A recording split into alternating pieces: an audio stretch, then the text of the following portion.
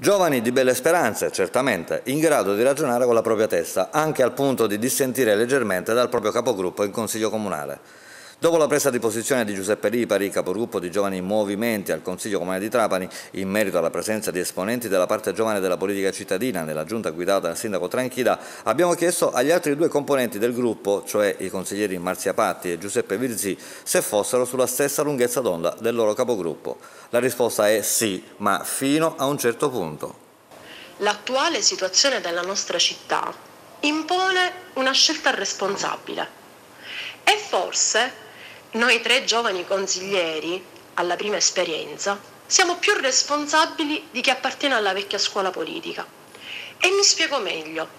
La cosiddetta giunta tecnica, da un anno a questa parte, ha intrapreso un percorso teso a trovare soluzione a molteplici problematiche.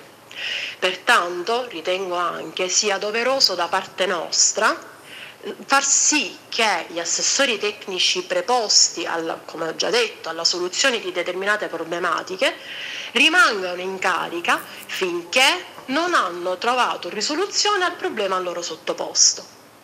Certa del fatto, ovviamente, che il sindaco garantirà al 100% la presenza di un giovane in giunta entro la fine del suo mandato. E Libari quindi che fa? Rimane isolato nella sua posizione oppure cala la testa e si adegua al volere dei suoi due compagni di banco. Mercoledì comunque ritorna il sindaco Tranchida che si è concesso qualche giorno di vacanza e forse la questione sarà definitivamente risolta col buon senso oppure con la forza.